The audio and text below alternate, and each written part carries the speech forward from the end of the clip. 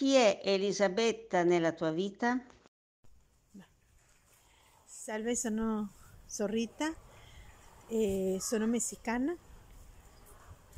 Chi è Madre Elisabetta nella mia vita?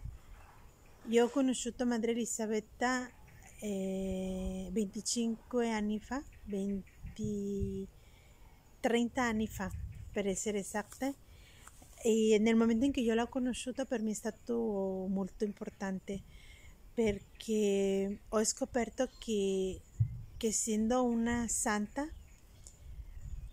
e tutte le sue parole, tutto il suo accompagnamento è sempre stato molto, molto vicino, eh, molto semplice, che, che nelle mie difficoltà de, nella mia vita come consacrata sempre ho avuto una parola di aiuto, di, di venirmi incontro, di dirmi avanti, alzati, cammina, non, non, este, non indietreggiare eh, la croce e, e, per me questo è stato un, un for, una forte chiamata a, a dire sì, voglio continuare, voglio essere del Signore perché con le parole semplici, con le parole eh, così maternale, così forte, lei, lei ha saputo darle senso alla mia vita e, e le ringrazio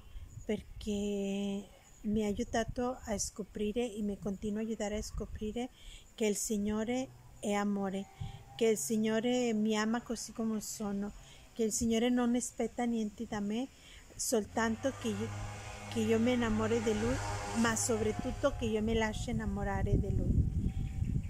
E, e quindi Madre Elisabetta è questo per me, la donna che ha saputo dire un sì e lasciandosi amare dal Signore. E, e l'invito di, di, che lei sempre me lo dice, no? lasciati amare, non avere paura, lasciati amare perché il Signore ti ama dalla mattina alla sera e dalla sera alla mattina. E questo è per me Madre Elisabetta. Grazie. Per me Madre Elisabetta è una donna speciale, una santa che, come definisce il Papa, è della porta accanto.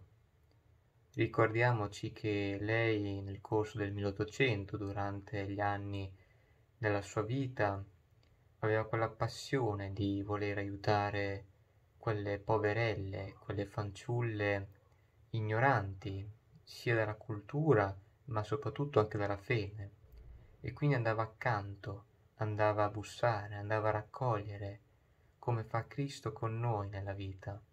Viene a chiamarci nei momenti soprattutto in cui meno ce lo aspettiamo o nei momenti più bui della nostra vita.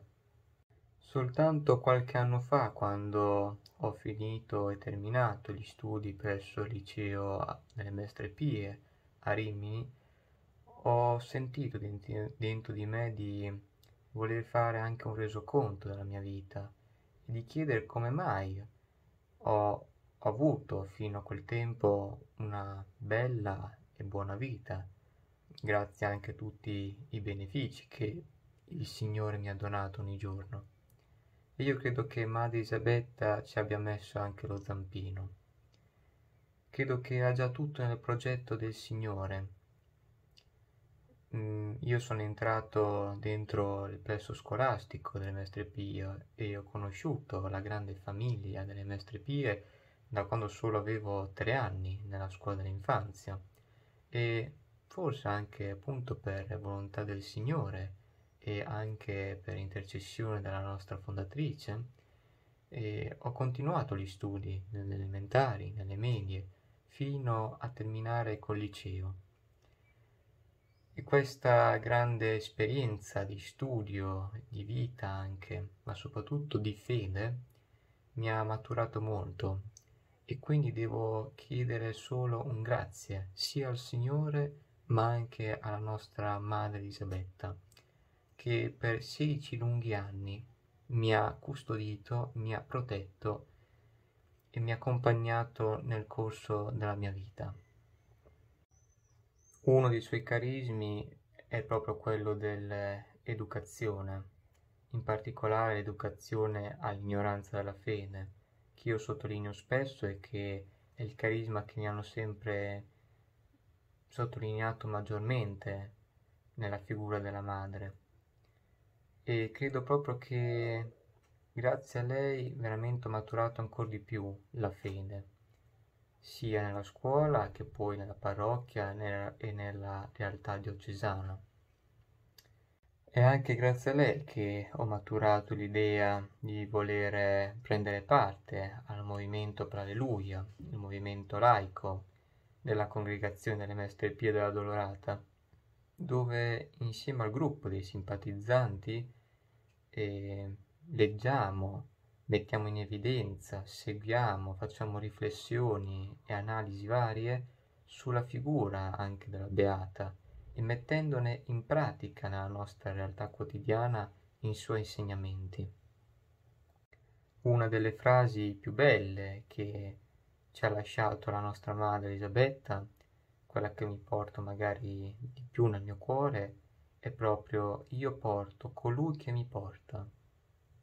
Ciò significa che io dentro il mio cuore, dentro la mia vita, dentro la mia quotidianità, porto dentro di me il Signore, il Signore risorto che Egli stesso poi mi porta dentro il suo cuore di amore, di misericordia, e mi dona tanti benefici.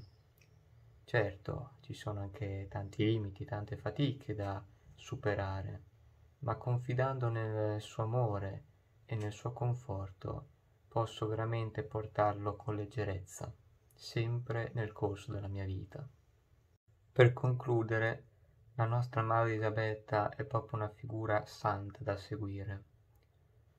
Mi sarebbe molto piaciuto partecipare a quel famoso 18 giugno del 1989 quando San Giovanni Paolo II, in quella chiesa pienissima di fedeli e di suore nella Basilica di San Pietro, annunciò la beatificazione della nostra fondatrice. Una figura proprio da seguire. I suoi piani erano diversi, voleva entrare nel monastero a Pietrarubbia dalle Clarisse, però questo alla fine gli fu tolto, questa concessione ma il Signore aveva grandi progetti per questa donna e ancora lei non lo sapeva.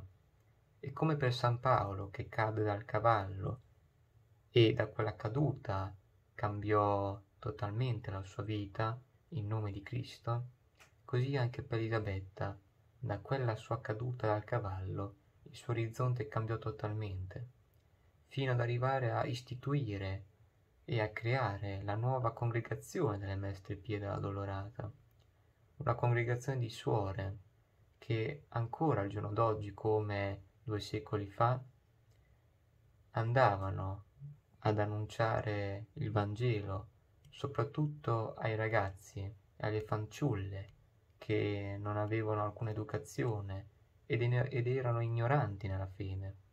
Così anche oggi, soprattutto sia in Italia ma anche all'estero, questa missione non viene mai a meno.